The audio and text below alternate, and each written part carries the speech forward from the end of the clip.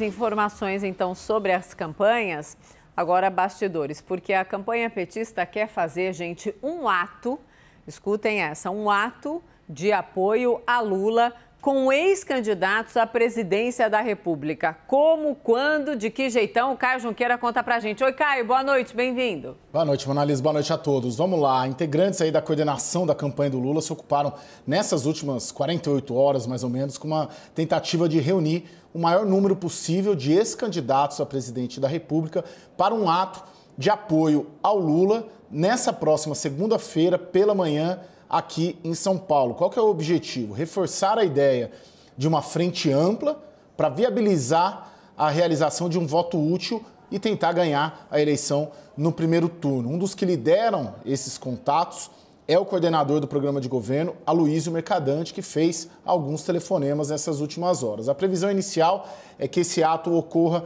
na segunda-feira, às nove e meia da manhã, no escritório político aqui em São Paulo, no bairro de Higienópolis. Né? Quem foi contatado nessas últimas horas? Por exemplo, Henrique Meireles foi candidato pelo MDB em 2018, Cristóvão Buarque foi candidato pelo PDT em 2006, Luciana Genro foi candidata pelo PSOL em 2010 e João Goulart Filho né, que foi candidato pelo PPL em 2018. E todos sinalizaram que sim, estarão neste ato.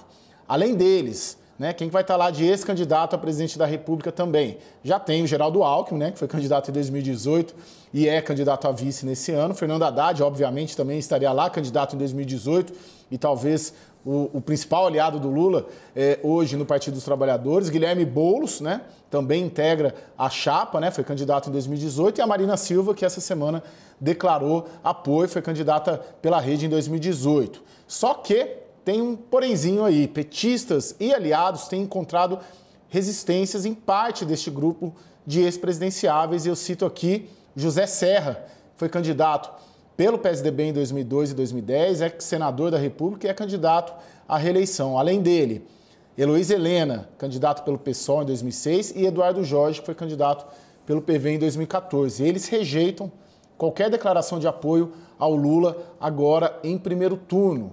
O Serra e o Eduardo Jorge, por exemplo, apoiam a Simone Tebet, enquanto a Heloísa Helena, que é candidata a deputado federal pelo Rio de Janeiro, apoia Ciro Gomes. Aqui para a CNN, o Serra mandou um vídeo né, uma, no qual ele, ele rejeita apoiar o Lula no primeiro turno. O que, que disse o Serra para aqui para a gente na CNN? Abre aspas.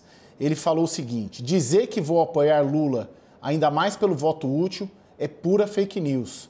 É o PT sendo PT que pensa que democracia vale só se for para eles. Minha candidata é Simone, minha amiga, mulher honesta e competente.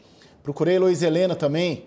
Ela me disse que alguns apoiam Lula, outros, como eu, ela no caso, apoiam Ciro. E ela também me encaminhou uma resolução da rede do partido dela, no qual libera os integrantes do partido para apoiarem Lula ou Ciro, para exemplificar, Marina está apoiando Lula e ela, Ciro Gomes. E o Eduardo Jorge, conversei com ele agora à noite, me disse é, é, que apoia a Simone Tebet. Eu perguntei no segundo turno, ele falou, ó, num eventual segundo turno, segundo turno é segundo turno, e não me respondeu.